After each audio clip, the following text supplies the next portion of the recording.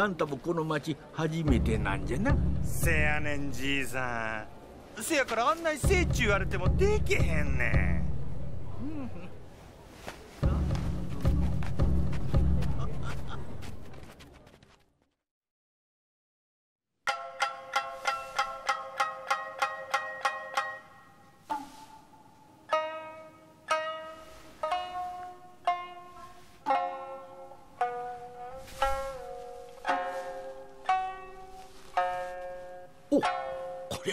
ゃすまんな。せやけどじいさんも物好きやな。今日までやってきて一番行きたかったところが遊郭やったなんて。なんだお主は楽しくないのか？なんや正直拍子抜けや。酒は男どもと飲んどる方が楽しいわ。なんかこうかしこまった感じがして調子が出んわ。そうじゃな。わしも若い頃は酒は戦場で飲むのが一番じゃったおおじいさん昔は戦に行ってたんか？当たり前じゃ。こう見えても昔はガンガン敵陣向かって攻め込んでいったもんじゃ。そうか。そりゃ面白そうな話やな。もっと聞かせてくれや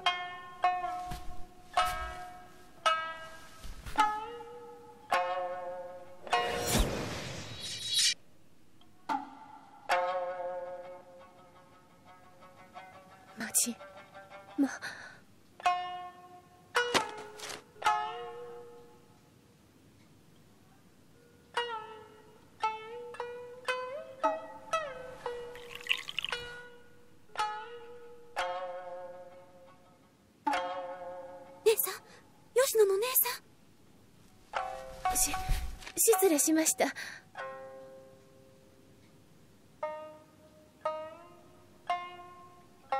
おいどうした？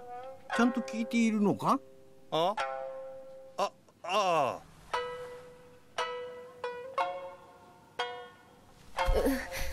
うちちょっと気分が。姉さん姉さんまだお座敷の途中やのに。ちょっと失礼します姉さん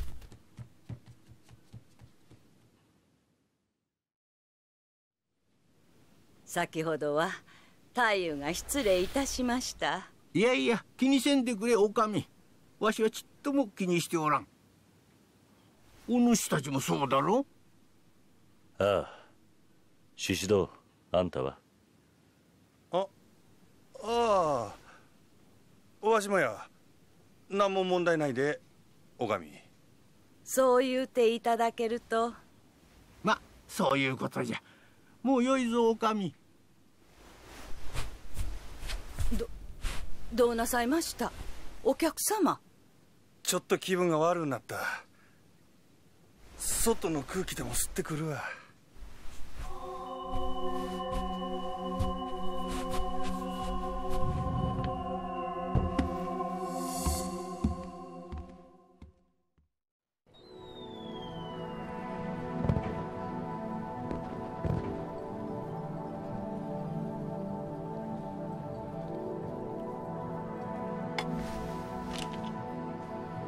あの女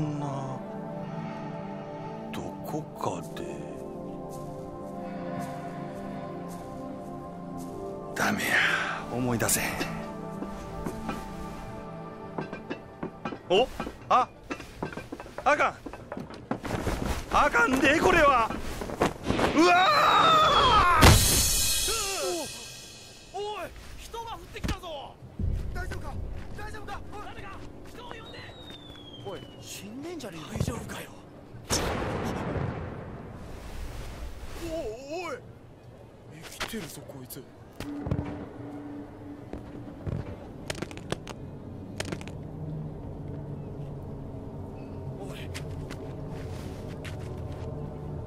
そうや。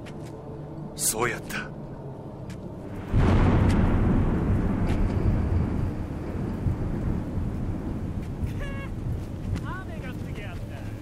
全部全部思い出したで桐生いや武蔵ちゃん。すみません。お嬢ちゃん名前は？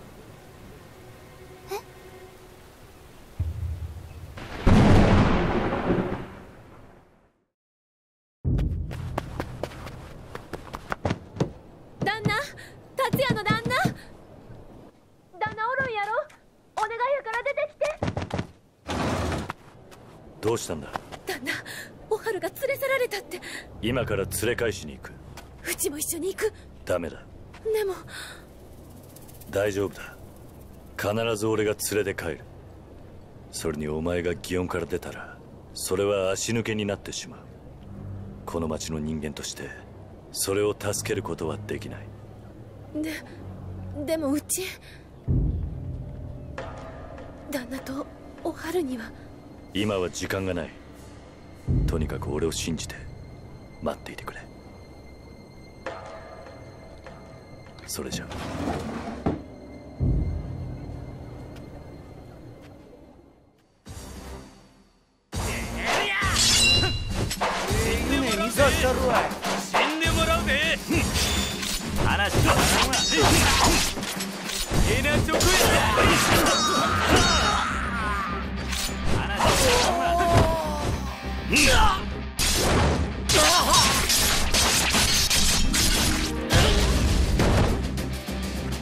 話にならんわ。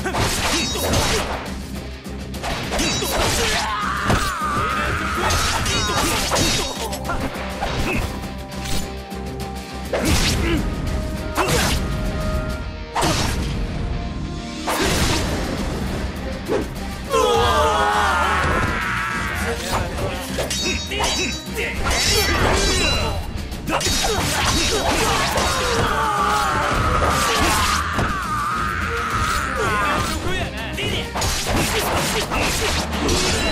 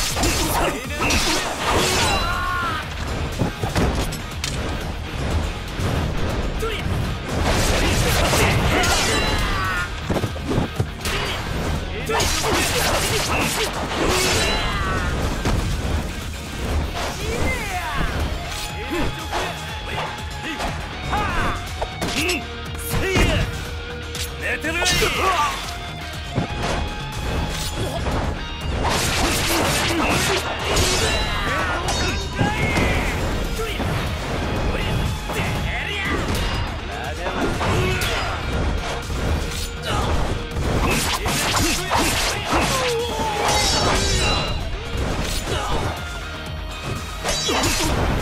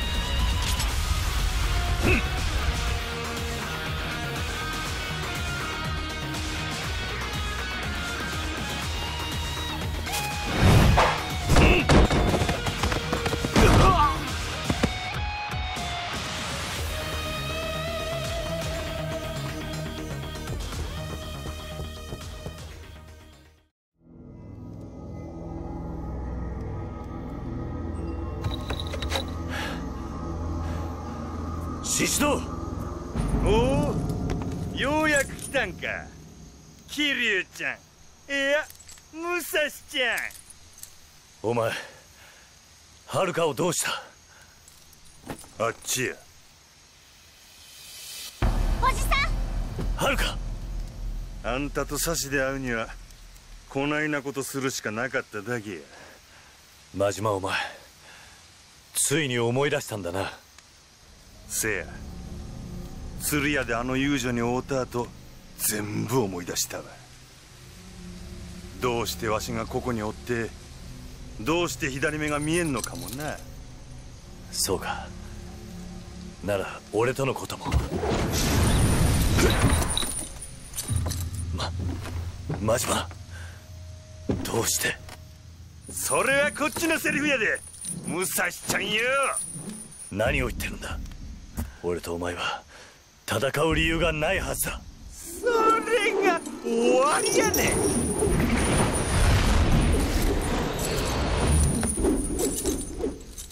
説明しろ。真島。浮世。浮世のことや。浮世だと。わしはあんたに浮世のことを頼んだはずや。それがどういうことやねん。真島。それはわしは浮世とあんたには幸せになってほしかったんや。それやのになんで？真島。確かに俺は浮世を守りきれなかった。だがそれは。なんで浮世が遊郭で働いとんね浮世が？んわしが知っとる浮世はあないな場所で働く女とちゃうわ。お前が浮世のことそそのかして働かせとるんやろが違う。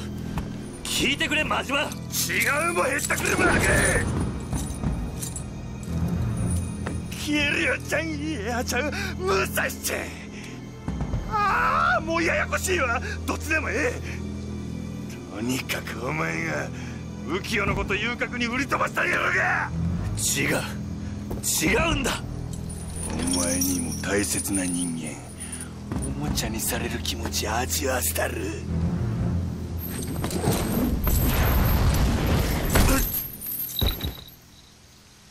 おじさんどうして？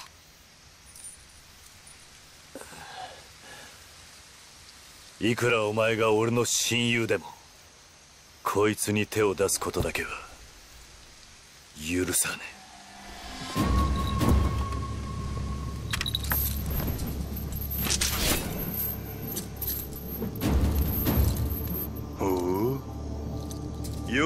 やる気になったようやな。俺はどうしてもこいつを守ると決めたんだ。そのためならお前でも相手にする。そうか。それなら一丁勝負をしようが。わしが勝ったらあんたは浮世を手放す。あんたが勝ったらわしは浮世を諦める。まあいいだろう。ほんな勝負やでキリュウちゃん。やっちゃうわ。武蔵ちゃんや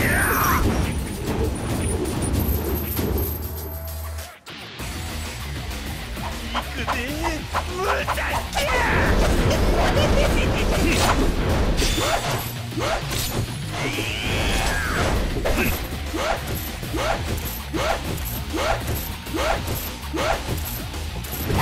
来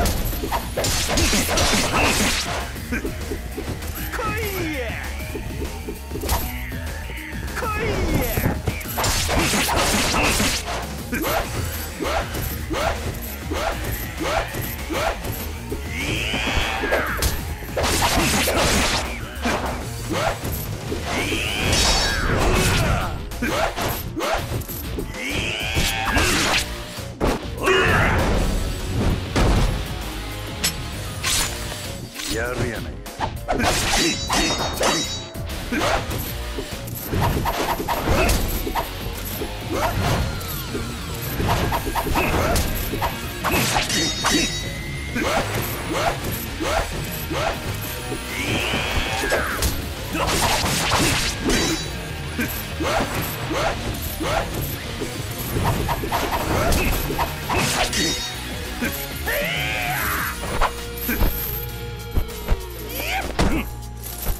来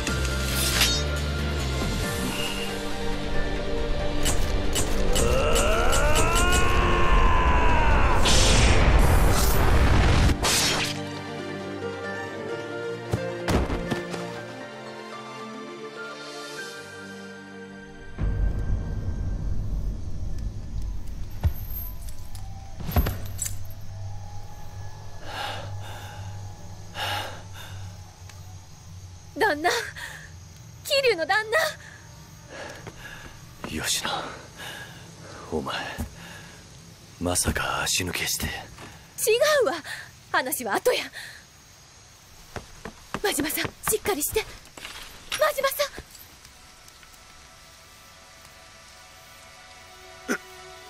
ん。浮世。真島さん違うんや。うちは浮世やない。姉のアゲハや。アゲハ？あなたが殺した神漬の国の剣士白井聖之進の娘アゲハや。そうか。ああん時の。あなたが浮世を世話してくれてたんやろ？なんでそれを？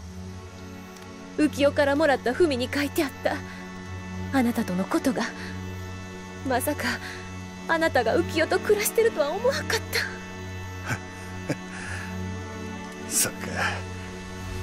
あんた姉ちゃんの方かいな。わしの勘違いやったんか。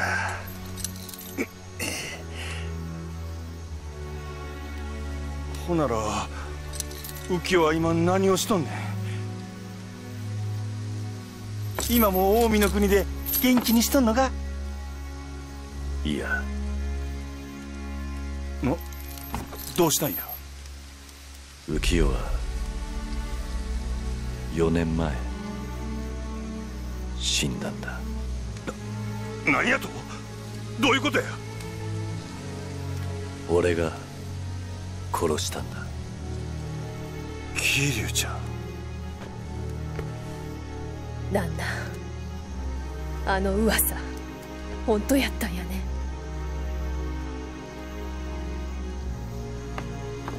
浮世を殺したのは宮本武蔵って噂あれはほんまやったんやね。旦那やない。旦那が宮本武蔵やったとしても浮世を殺したんはちゃう人や。そう信じてきたのに。吉野。なんでなんなんで浮世を殺した。アゲハちゃんそらちゃうで。せやろ桐生ちゃん。あんた関ヶ原の時みたいにまたはめられたんやろ？ああ。俺は浮世を守ることができなかったんだ。あの時俺は追われていた。徳川。そして賞金稼ぎの連中に。浮世は俺を守るためそいつらの犠牲に。ほんなら旦那が浮きを切ったわけじゃ。吉野この俺の剣についている鈴は浮世がつけてくれたものだ。俺が再び剣を取った時のお守りとして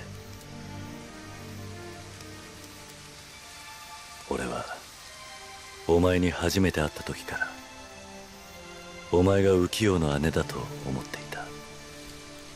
だが今まで本当のことを話せなかった。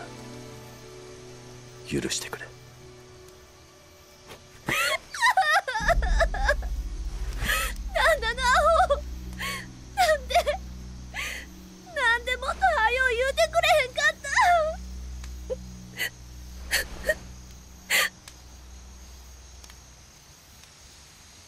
終わったか。とんだ茶番劇だな。佐々木小次郎。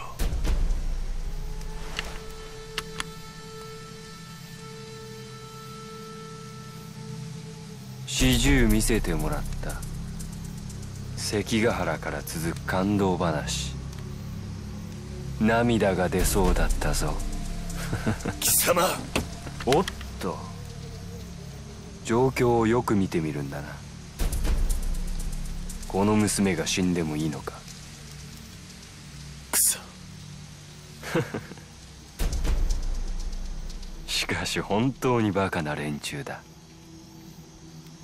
お前もせっかく自由の身にしてやったというのにこんなところで何をしているの？だえ？どういう意味だ？鶴屋の火事を覚えているだろう。俺はこの女の自由と引き換えに火をつけさせた。この女はすでに身請けされた自由の身なのだ。よそうか。だからお前祇園を出てこれたのか？だというのになぜお前はまだ祇園にいるんだ？とっとと逃げてればいいものを。それは。宮本武蔵が気になったから。か。そうや。うちは旦那が本当に浮世を殺したんかどうか確かめる必要があったんや。一度は金に目をくらませた遊女のセリフとは思えんな。小次郎お前ええんや旦那。その通りなんやから。確かにあの時のうちはどうかしてた。自由の身になれると思って店に火をつけた。せやけど分かったんや。あんたみたいな男に金で身請けされても意味がないってことに。折れたのかこの男に。そうや。うちはこの人のおかげで目が覚めたんや金なら返す。そしてうちは祇園に残る。吉野お前。まあよい。あとはこの娘を始末しさえすれば俺の任務は全て終わる。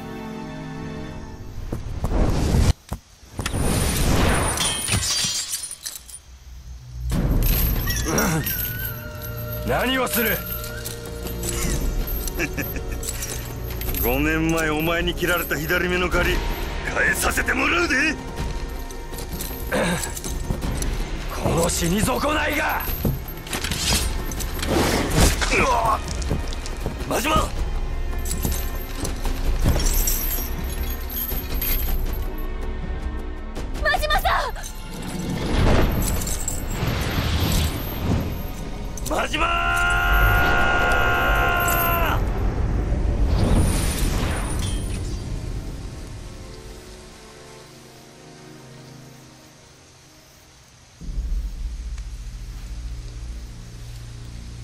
年前を見ているようだな。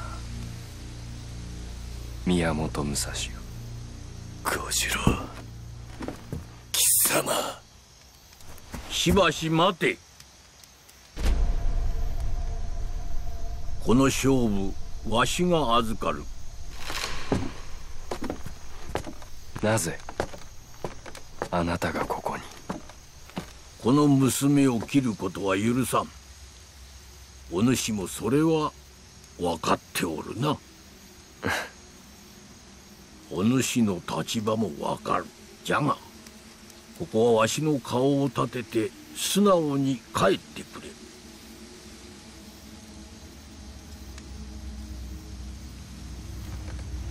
わかりました。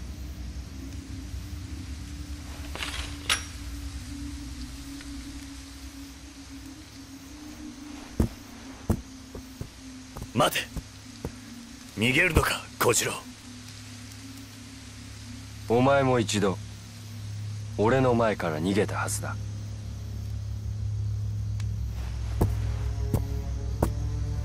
改めてお前と戦う日まで勝負はお預けだ。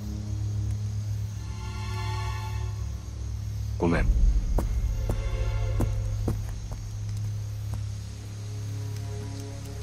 おおかわいそうに今助けてやるからな。ちょっと待てよ。ん？あんた一体何なんだよ。遥を身請けすると言ったかと思えば小次郎とまで繋がってる。俺たちをどんだけ振り回せば気が済むんだよ。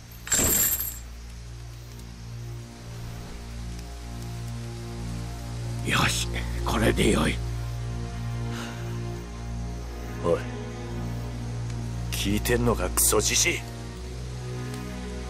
あんたがもっと早く来ていれば真島も死なずに済んだんだ。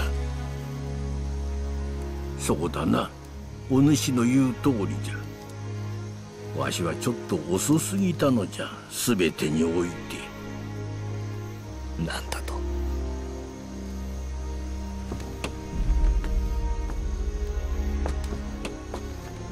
全てのことを話そうわしとお春のこと。そして佐々木小次郎の全てを。全て。お主に全てを聞く勇気があればの話だが。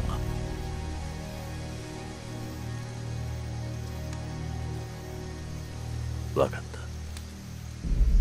た。話を聞こならば明日祇園の大門前に使いの者をよこす。